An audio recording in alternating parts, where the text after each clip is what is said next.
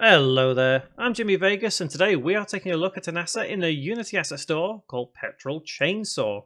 It's a nice simple asset and although I have reviewed a chainsaw asset before, I want to take a look at this one because this one's a little bit different. So if we look at the actual asset itself, its quality is fairly decent. One thing I will say though is it's a bit distracting to have the name of your particular company or whoever you are on the asset itself. Uh, I feel like that's a little bit of shameless self promotion, and it will turn quite a lot of people away from this asset, unfortunately.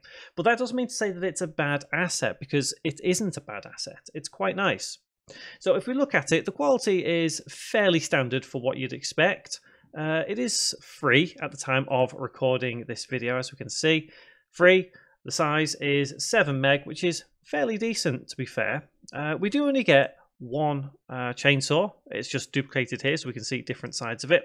So quality, yeah, it's okay. It's not too bad. It's it's about what you'd expect. Quantity, you get the chainsaw, you get what you're given, what it's advertised. There's no extras, nothing else, which is good enough at the end of the day. Uh, now this chainsaw itself is just one piece. There's not nothing particularly overly amazing about it in all fairness. Um, I guess you could animate it if you wanted to, but it is all one piece, which means the chain won't actually move, which is a little bit of a shame. I mean, you could customize it a little bit if you wanted to, and perhaps add a little bit extra to it. But you know, there are other assets out there which are already pre-made that way, so you could just do that. Now, I always say to add a little bit of post-processing, and sometimes that can go a really long way. Uh, if we add a quick post-processing profile, we can see, yeah, it doesn't look too bad. Uh, we can also change a couple of things if we want to. You know, we could go to the materials and we could play around with things. We could also go to textures and create, let's say, a normal map and customize it that way to give it a bit more of a, uh, a gritty feel. Is gritty the right word to use? Uh, it could be. So let's just quickly apply a, a normal map to it. Let's just see, out of curiosity, how this actually looks. So on the chainsaw itself, we can see, we can go to here, down to the material and let's just apply that normal map. So it looks grim, grotty, but at this point you can kind of tell that it is all one object and that's where it becomes a little bit disappointing. But you can reduce the normal map to, you know, just slightly and you can see it that way and it looks a little better to some degree. I think it just depends what type of game you're making. So, how useful is this asset going to be in a game? To be fair, not very useful in pretty much any game, unfortunately. I think it'd be great as a prop, you know, just on a shelf, as long as you have it the other way around this way, because I really feel that that is just a bit silly to have on the asset itself. It's so disappointing.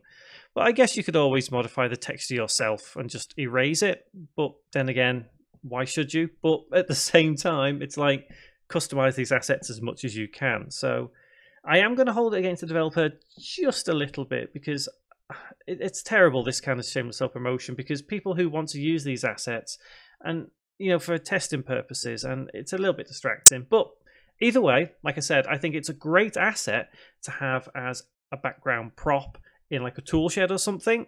It's not going to be useful for a weapon in some kind of zombie slaying game or something like that. Uh, so you could probably have it in maybe just a standard open world game. You know, even something like Grand Theft Auto. You know, you go into someone's house and there's a garden shed there or something, and on a shelf in that garden shed is a chainsaw. There you go. You've got your chainsaw right there. I think it'd be good for something like that. Uh, obviously, the folders are neatly laid out, and we do get the demo scene, which is always good to see, even called demo scene. Brilliant. Um, but overall, yeah, it, it serves its purpose, but it's very limited in what it can do. So, as you guys know, I don't rate assets. I either recommend them or I don't. And I don't think I would recommend this one, unfortunately. Um, it's a nice asset, don't get me wrong. And I think I would recommend it for people who just want a prop, but there aren't many people out there who just want a chainsaw prop. People who would want a chainsaw would want it animated, movable, do different things with. Uh, this, unfortunately, isn't one of those assets. But like I say, prop, fine. If anything else, I wouldn't recommend. I, I'm sorry. There are things I would change about this asset.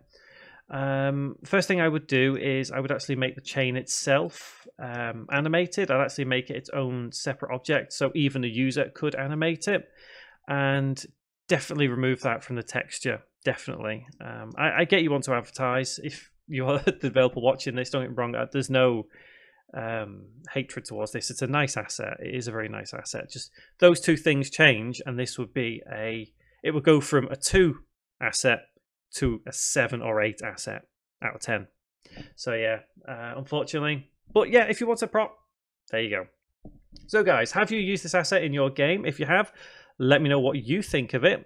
Um, if you like the asset, give a thumbs up. If you don't, give a thumbs down. Let me know why you didn't like it. If the same reasons I did, just let me know for the same reasons. And if you've got an asset on the asset store yourself, please let me know as well. I'd love to check it out. And finally, don't forget, click that subscribe button and click that bell icon as well. And you can stay up to date with loads of development tutorials that I put on this channel, as well as reviews, gameplays of games you guys have made. And uh, yeah, hopefully I'll see you around in the video. Thanks very much for watching, guys.